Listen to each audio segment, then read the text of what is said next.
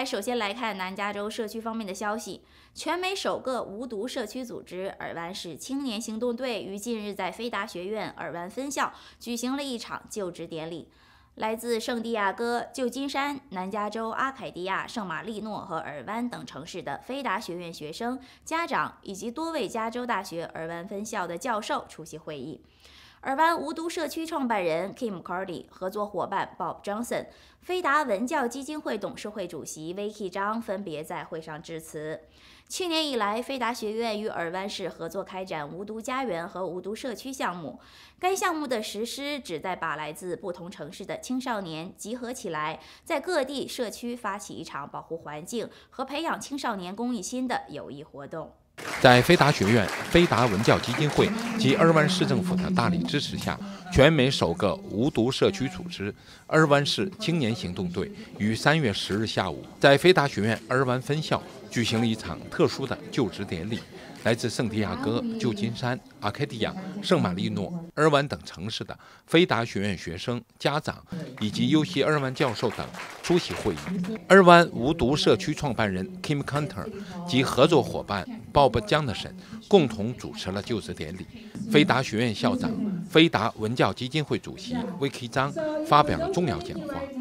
那我们今天这个活动呢，实际上是一个持续我们去年跟尔湾市政府的这个合作的项目，叫无毒家园和无毒社区。那之前呢，去年呢，尔湾市政府呢给了这个飞达基金会一千元的这个奖励，是支持我们在这个社区的这个。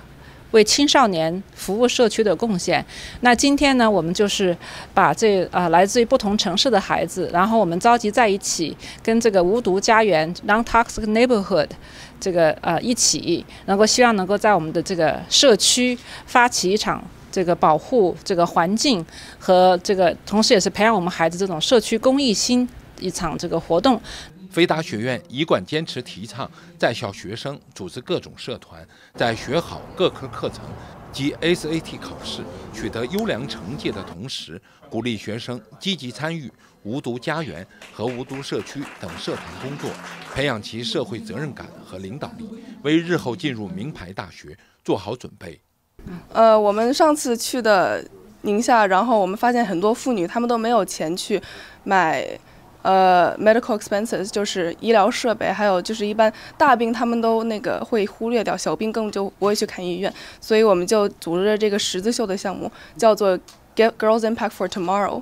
然后，呃，我们就基本上是把十字绣，呃，让那那些宁夏的妇女先做完，然后他们。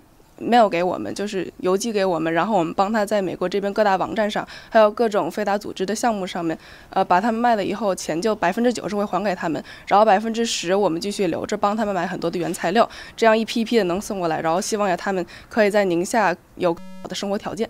飞达学院的学生们积极参加无毒家园项目，不但自身得到了锻炼，也为社区做出了有益贡献，更为将来进入名牌大学。打下了良好基础。汉天卫视记者吕立川，南加州尔湾市采访报道。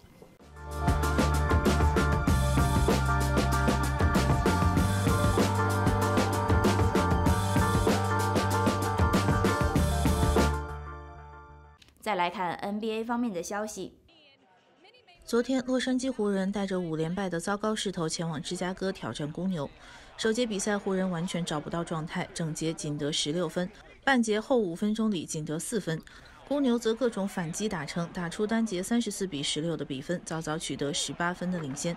次节湖人终于找到状态，詹姆斯这一节一人贡献十四分四篮板，湖人凭借着开局一波净胜十四分的攻势，迅速追上比分。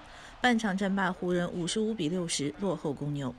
休息回来，湖人在这一节完成绝地反击。公牛末段彻底哑火，导致局面被动。湖人则送出二十四比三的攻势，一举反超，并取得十四分的领先。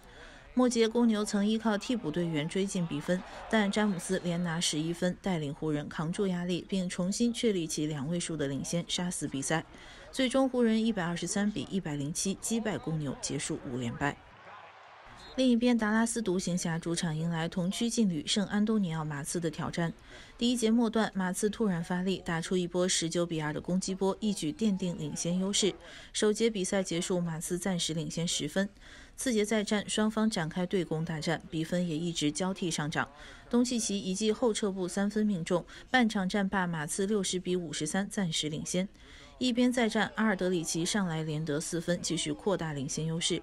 随后，独行侠在布伦森的带领下打出一波八比零的反击，缩小分差。随着最后时刻，马刺连得五分，三节比赛结束，马刺暂时领先十分。进入末节决战，德文哈里斯连续命中两记外线三分，缩小分差。关键时刻，贝尔坦斯三分命中，帮助马刺稳住局势。随着德罗赞最后时刻两罚全中，最终马刺客场一百一十二比一百零五力克独行侠。同一天，明尼苏达森林狼客场挑战丹佛掘金。